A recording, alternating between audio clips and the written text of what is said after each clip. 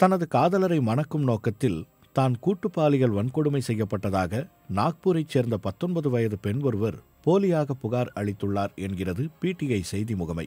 இந்த புகாரால் நாக்பூர் காவல் ஆணையர் அமிதேஷ் குமார் உட்பட காவலர்கள் ஆயிரம் பேர் இந்த வழக்கு விசாரணையில் ஈடுபட்டிருந்தனர்.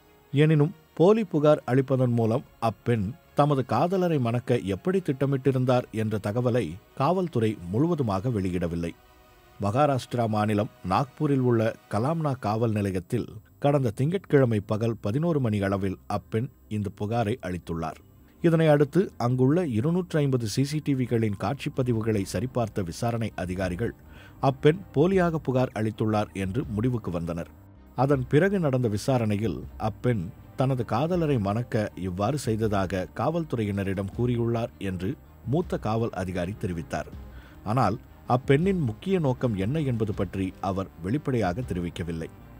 அந்த பெண் அளித்திருந்த புகாரில் நாக்பூரில் உள்ள சிகாலி பகுதிக்கு அருகே காலை இசை பயிற்சி வகுப்புக்கு தான் சென்று கொண்டிருந்த வழியில் ஒரு வெள்ளை நிற வேனில் வந்த இருவர் தன்னிடம் வழி கேட்டனர் என்று தெரிவித்திருந்தார். அதன் பிறகு தன்னை வலுக்கட்டாயமாக அந்த வேனுக்குள் இழுத்து தன் முகத்தை துணியால் மூடினர் என்றும் பின்னர் ஒதுக்கப்பட்ட பகுதிக்கு தன்னை அழைத்துச் சென்று பாலியல் வன்கொடுமை செய்ததாகவும் புகார் அளித்திருந்தார் என்று அதிகாரி ஒருவர் கூறினார்.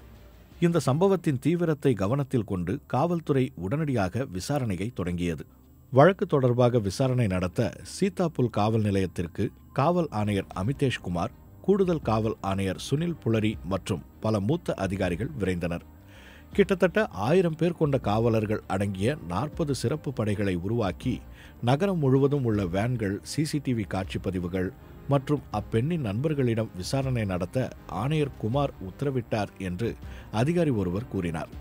மேலும் மருத்துவ பரிசோதனைக்காக அந்த பெண் மாயோ மருத்துவமனைக்கு அனுப்பப்பட்டார் என்றும் அந்த அதிகாரி கூறினார். ஆறு மணி நேரத்துக்கும் மேலாக ஐம்பது பேரை விசாரித்த பின் அப்பெண் கூட்டுப்பாலியல் வன்கொடுமை செய்யப்பட்டதாக உண்மைக்கு மாறான தகவலை சொல்லியுள்ளார் என்று காவல்துறையினர் முடிவுக்கு வந்தனர். சிசிடிவி காட்சிப்பதிவில் அப்பெண் நாக்பூரில் உள்ள வெரைட்டி ஸ்கொயர் பகுதியில் காலை ஒன்பது ஐம்பது மணி அளவில் பேருந்திலிருந்து இறங்கியுள்ளார். பின் ஜான்சிராணி ஸ்கொயரில் காலை பத்து மணி அளவில் நடந்து ஆனந்த் டாக்கிஸ் ஸ்கொயரில் காலை பத்து பதினைந்து மணிக்கு ஆட்டோவில் ஏறியுள்ளார்.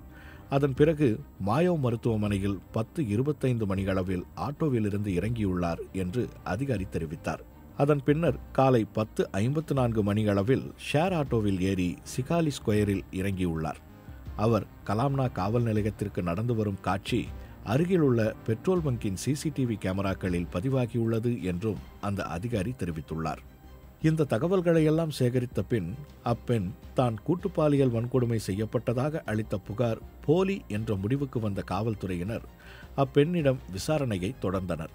அதற்கு அப்பெண் உண்மையை ஒப்புக்கொண்டு தன் காதலரை திருமணம் செய்யவே இப்படி செய்ததாக கூறினார் என்று அந்த காவல் அதிகாரி கூறியுள்ளார்.